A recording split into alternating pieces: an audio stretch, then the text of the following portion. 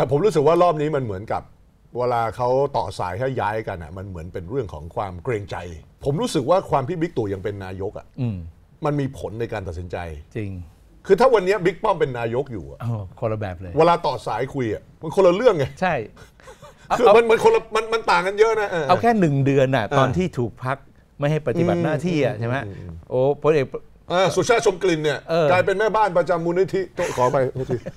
ไม่ได้ว่าคุณสุชาติ แต่ว่าแกแกถูกมองว่าเป็นอย่างนั้นอย่างนั้นไงเออใช่ดูไหมแลทุกเรื่องอะงั้นคืออำนาจเนี่ยถ้าแบบมันอยู่ในมือก็โอเคแหละอ่าแต่เมื่อหลุดมือไปเมื่อไหร่เนี่ยจะรู้เลยว่าจริง ๆ แล้วเนี่ยมีคนรักเราอยู่เท่าไหร่ แต่ผมชอบนะบรรยากาศตอนนั้นน่ะหมอเลียบตามข่าวที่สื่อรายงานใช่ไหมที่ว่า อ่าอ่าเมื่อสามวันที่แล้วอะสสที่ไปพลังประชารัฐอะเขาให้ขึ้นไปพบพลเอกประวิตยอะอ่า แล้วเข้าไปในห้องอะแล้วก็มีการเซ็นเอกสารเนี่ยครับแสดงความสวามิภักดิ์อืม ซึ่งผมเคยคิดว่าแบบถ้าไปอยู่เพื่อไทยต้องทำนะ แต่ว่าตกลงที่ให้ทำเนี่ยคือคือที่พลังประชารัฐ แล้วแล้วปรากฏว่าในวงล้อมเนี่ยจะมีคนซึ่งแบบเป็นวงในบิ๊กป้อมอะ เออ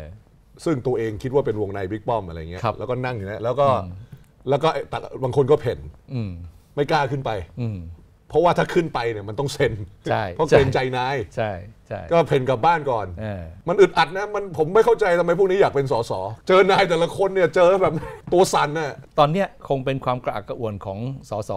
โดยเฉพาะที่แบบไม่แน่ใจว่าอนาคตตัวเองจะอยู่พักไหนเนี่ย ในช่วงเนี้ยธันวามกราเนี่ยผมว่า เป็นช่วงที่ต้องตัดสินใจ เพราะฉะนั้นตอนนี้เขาก็คงพยายามหาข้อมูลให้เยอะที่สุดอะเพราะคนที่เคยเป็นสสเนี่ยโดยธรรมชาติอยู่แล้วว่าย่อมอยากเป็นสสต่อ อันนี้เป็นเรื่องปกติธรรมดามันเป็นอย่างนี้จริงๆใช่ไหมฮะจริงจริงจริงเป็นสสแล้วแบบคล้ายๆอ่ารักพักเดิมที่อยู่ไม่ต้องสน รอบนี้กระแสไม่มียอมแพ้เนี่ยทำไมไม่คิดอย่างปลื้มบ้างวะคือผมผมไม่เข้าใจคือแบบ คุณไม่มีคุณไม่ได้เป็นสสรอบรอบหนึ่งมันจบเลยเหรอมันในการทำมาหากินอะหมอเลียบอย่างคุณรังสีมารอดรัศมีอะเออเขาบอกว่ามันก็อยากเป็นสสอะ จริงทำไมคุณไม่อยู่ประชาธิปัตย์คุณเป็นคนประชาธิปัตย์คุณก็อยู่มันจนวันตายก็ได้ ให้แพ้ก็ได้ก็ต้องอยู่ไงอืมคือตอนแรกที่เป็นสสครั้งแรกเนี่ยอาจจะมีความรู้สึกว่าเออเราตั้งใจไปอยู่กับพรรคการเมืองนี้นะอ่าเพราะว่าคิดแบบที่เราคิดอะไรเงี้ยเป็นต้นนะแต่พอได้เป็นแล้วเนี่ยแล้วถ้าถึงจุดหนึ่งพรรคการเมืองที่ตัวเองสังกัดเนี่ยในแง่คะแนนนิยมเนี่ยมันเริ่มหดหายไป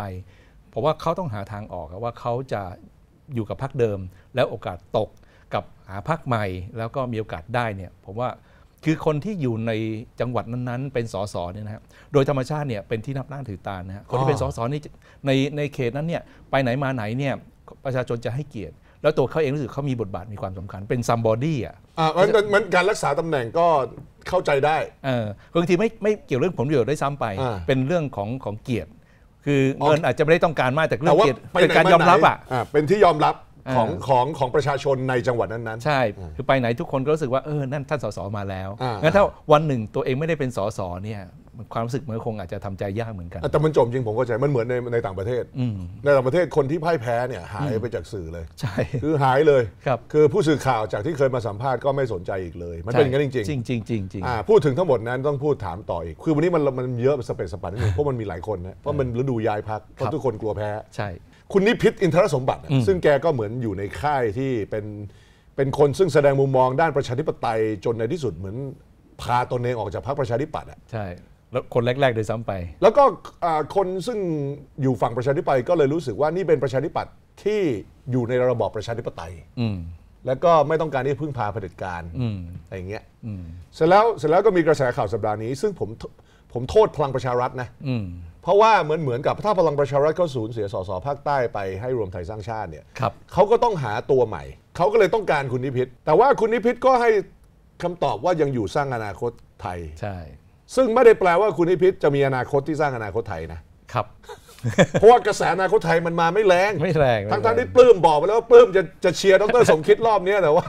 ขนาดผมดันนะนะผมเออดันเนี่ยยังไม่เกิดเลย ดันให้ทุกรายการเลย ดันให้ดรสมคิดเต็มที่ไม่เคยเจอเลย ประเด็นคืออย่างนี้ แม้กระทั่งอย่างคุณนิพิษชื่อก็โผล่มาว่าเดี๋ยวอาจจะย้าย มันเป็นฤดูอย่างนี้ใช่ไหมฮะจริงครับเออเออมันเพราะว่าคือทุกคนต้องเริ่มตัดสินใจแล้วล่ะ เพราะว่าเวลามันก็งวดลงมาทุกทีแล้วนะครับ เพราะฉะนั้นบางครั้งแบบ ผมว่าคุณพิพิธออกจากประชาธิปัตย์เนี่ยมาที่สร้างอนาคตไทยเพราะมีความรู้สึกว่าเออก็มั่นใจแหละตอนนั้น ว่าสร้างอนาคตไทยเนี่ยจะสามารถเป็นพรรคการเมืองสำคัญในการที่จะเข้าสู่การเลือกตั้งครั้งหน้า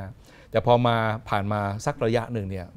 ก็ต้องประเมินแหละครับว่าอนาคตของตัวเองจะอยู่ตรงนี้ไหมอย่างที่คุณปลื้มพูด มีอนาคตด้วยหรือเปล่ากับสร้างอนาคตไทยนั้นแต่ถ้าถึงขนาดข้ามฝั่งไปพลังประชารัฐเลยเนี่ยผมก็ก็ไม่แน่ใจเหมือนกัน ก็ต้อง ต้องดูว่าคุณนิพิษจะตัดสินใจยังไง คือจริง ๆ คุณนิพิษเป็นนักการเมืองมายาวนานนะครับอืมแล้วก็ถือว่าเป็นคนที่มีหลักการตัวเองชัดเจน อภิปรายในสภานี่โอ้โหเป็นการอภิปรายที่ทุกคนต้องรอฟังแหละอ่านั้นมาวันนี้บอกว่าเป็นขุนพลภาคใต้ของสร้างอนาคตไทย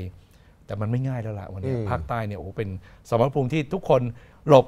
อืมกระแสของเพื่อไทยอะก็ต้องไปดันครับไปที่ภาคใต้เต็มที่ทุกคนก็รู้สึกว่ามันยังไม่มีใครที่สามารถที่จะเป็นกระแสหลักในภาคใต้ได้งั้นก็พยายามจะลงตรงนั้นหมดงั้น ภาคใต้ครั้งนี้น่าจะดุเดือดเพราะผมอ่ามีคนไปเช็ค Facebook ของคุณสุรนันท์เวชชาชีวะครัคุบณสุรนันท์นี่เขาเหน็ดเหนื่อยมากในการเตรียมการหาเสียง ในกรุงเทพมหานคร โอ้โหใช่สร้างอนาคตไทยนี่หาตัวลงในแต่ละเขต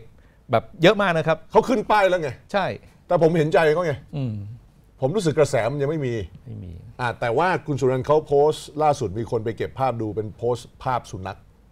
แล้วก็มีวัฒกรรมเหมือนกับว่าอ่ารับรับผมไม่รู้ เหมือนกับอ่าอ่ารับใช้สุนัขยังดีกว่านักการเมืองห่วยๆอะไรเงี้ยคืออะไรสักอย่างเนี่ยซึ่งแบบเหมือนแบบอารมณ์แบบเอ่อไม่พอใจอะไรอยู่อืมก็แสดงว่าอันนี้เป็นอ่าช่วงเวลาซึ่งทุกคนเจอกับความจริง จริงว่าว่าว่ามันไม่มีอะไรง่ายไม่เออคือไอตอนที่ตั้งพักการเมืองใหม่ๆเนี่ยทุกคนก็ฝันได้ทั้งนั้นแหละครับอืมแต่พอเหตุการณ์มันผ่านไปเวลามันงวดเข้าใกล้ถึงการเลือกตั้งเนี่ย อย่างที่คุณปลื้มพูด ความจริงมันจะปรากฏ พอความจริงปรากฏแล้วตอนเนี้ยก็ต้องตัดสินใจกันแล้วว่า พร้อมที่จะเข้าสู่การเลือกตั้ง แล้วก็สู้ทุกหยาดเหงื่อเลย แพ้ก็แพ้ไม่เป็นไรหรือเปล่าอันเนี้ยอืมอืม